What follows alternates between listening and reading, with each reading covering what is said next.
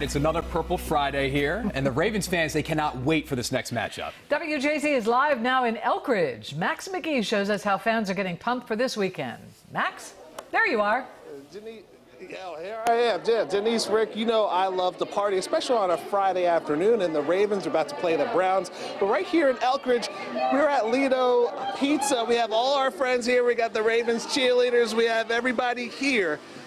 And we're going to have a, a big party here in Baltimore. Columbia Mall. Call your buddies. Tell them to come down here. Attention all shoppers inside Columbia Mall. There's a Raven spotting on the first floor. You got your chicken? It's week four's Raven Rally as the Birds gear up for the Cleveland Browns at home.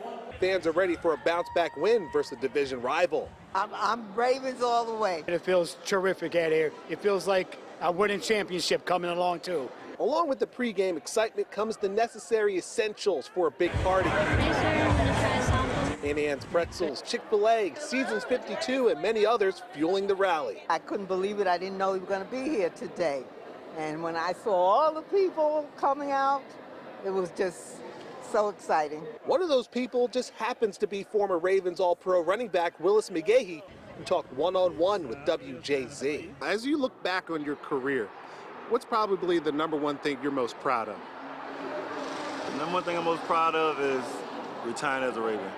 Now, don't get me wrong, other teams, other cities are, are great, but it's like family here.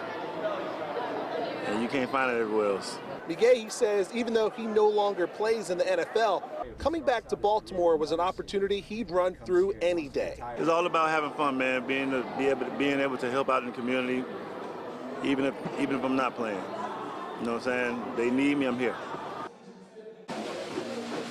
Back live here at Lido Pizza. On this event was sponsored by M&T Bank and 98 Rock Baltimore. Now you remember uh, McGahee playing for the Cleveland Browns in the last year of his career, so he's kind of partial. He doesn't want to give a prediction for the Ravens and Browns, but we will give the predictions coming up later in sports. We're live in Howard County tonight. Max McGee for WJZ.